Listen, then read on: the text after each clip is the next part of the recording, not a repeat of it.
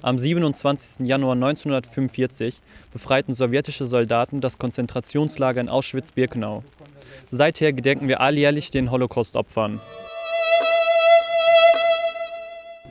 Zwischen 1940 und 1945 töteten die Nationalsozialisten mehr als eine Million Menschen in dem Konzentrationslager in Auschwitz.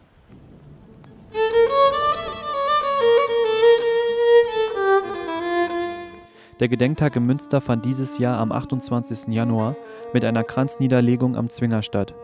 Der Oberbürgermeister von Münster, Markus Lewe, hielt ebenfalls eine kurze Ansprache im Gedenken an die Opfer.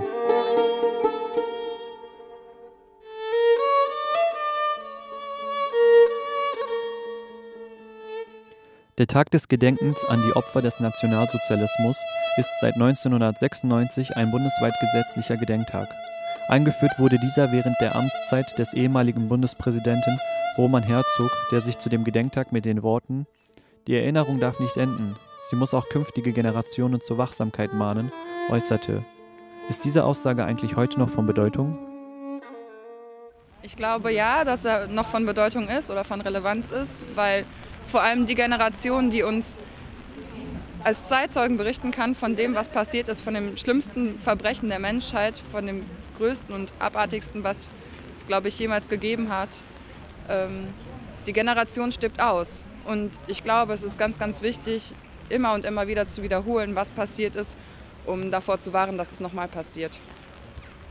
Also ich halte dieses Zitat von Herzog für ganz sinnvoll und wichtig, aber ich meine auch, dass äh, wir alle was tun müssen, um diesen Anfängen, die längst keine mehr sind, sondern schon sehr stark wieder in unserer Gesellschaft oder immer auch noch sind, äh, dass wir dagegen was tun müssen. Heute ist das ehemalige Vernichtungslager Auschwitz ein Museum.